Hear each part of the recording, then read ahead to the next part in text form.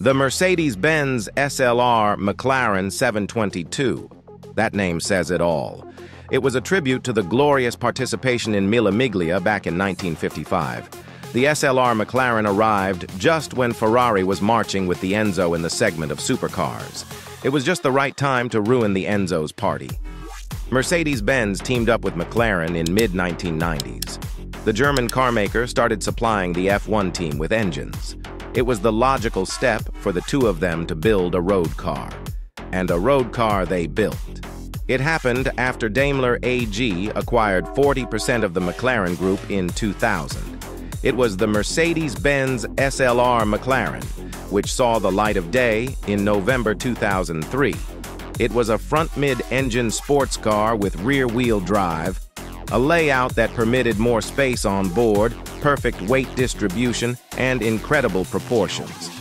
It came with a long hood, short rear overhang, and looks to match the engine that hid under that sculpted hood, plus the oh-so-spectacular gull-wing doors. But Mercedes-Benz was not going to stop there. Customers wanted more. They wanted something special, exclusive, sportier, more powerful.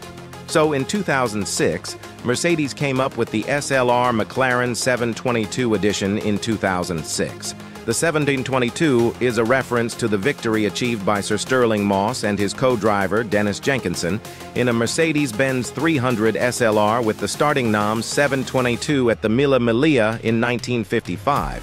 Why 722? That was the time their Benz would start off in the race. 722 a.m.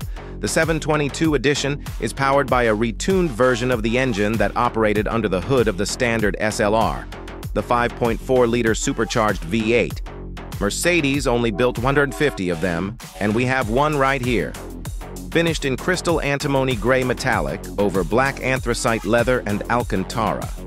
This one drove through the factory gate in December 2006 and was registered on January 4, 2007.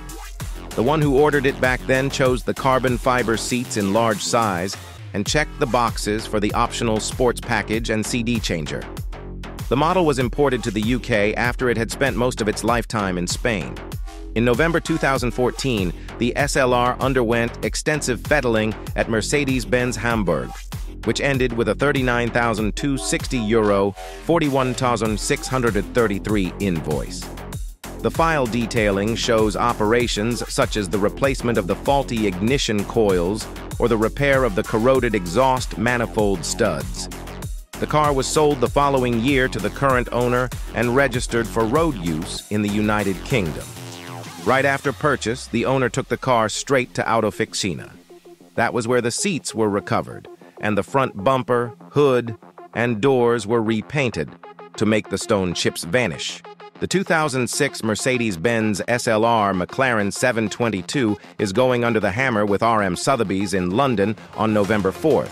Organizers of the auction have estimated the car somewhere between 425,000 and 475,000 pounds.